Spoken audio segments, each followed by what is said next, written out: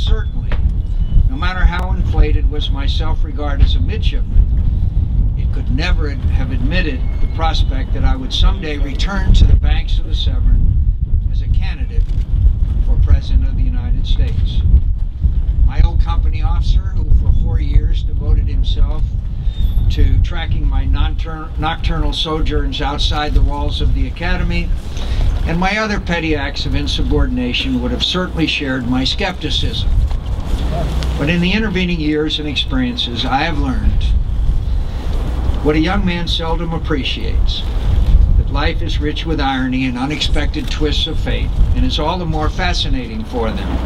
And I learned this too that my accomplishments are more a testament to my country, a land of opportunity, than they are to me. In America, everything is possible. I had a difficult time my plebe year adjusting to the discipline imposed on me, which included, of course, deference to officers and instructors, but to other midshipmen whose only accomplishment entitling them to my obedience, I thought at the time, was to have been born a year or more before me. I was something of a discipline problem to begin with.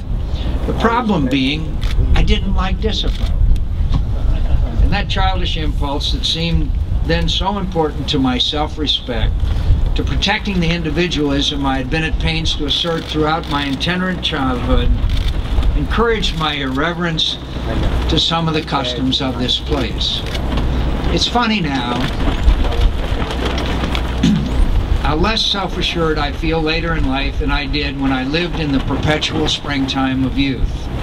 Some of my critics allege that age hasn't entirely cost me my earlier conceits. All I can say to them, they should have known me then.